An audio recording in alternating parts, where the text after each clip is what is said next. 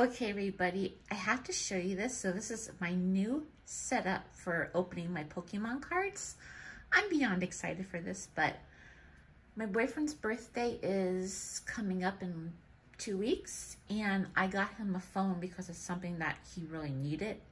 So I got him a used phone off Amazon, and he ended up buying me something, something that I really needed.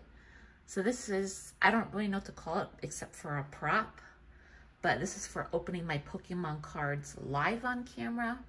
Because one time I pulled the Moonbreon and somebody accused me of just putting the card in the pack. Because, you know, when I would film, I would open the cards first. And then I would film on my cell phone because I didn't have anything to hold my phone up. So they accused me of doing that, which I would never pay $600 for a card just to put it in my packs. But, you know, now you can actually see when I pull something good on camera. So this is really good. I love this so much. But yeah, I'm really excited. Bye, everybody.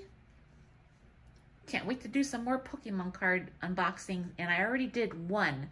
I just have to put it on my channel. But I'll probably do that very soon. Bye, everyone.